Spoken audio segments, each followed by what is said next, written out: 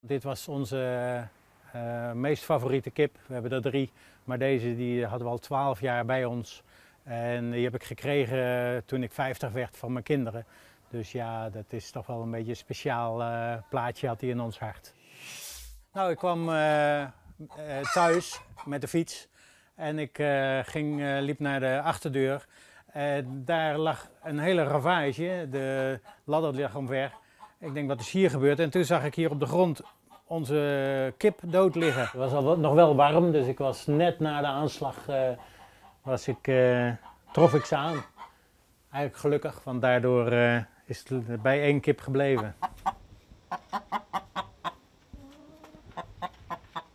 Ik heb, ben boven gelopen om een bak te halen en die bak heb ik, want hij zat in, ondertussen onder de, onder de afdak, heb ik die bak daar neergezet. En uh, ja, ik heb de, de, dode kip, die was toch al dood, heb ik maar als lokaas gebruikt en uh, hem zo naar de bak toe gelokt. En toen heb ik hem kunnen grijpen. Ze is hier in de nek een beetje gegrepen. En aan de zijkant zit wat geronnen bloed.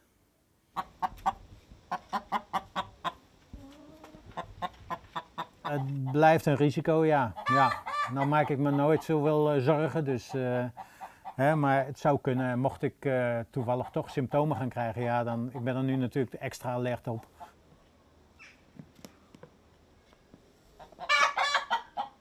Maar het is een heel lief beestje, lijkt het. Alleen moet er geen kippen in de buurt zijn. Hè?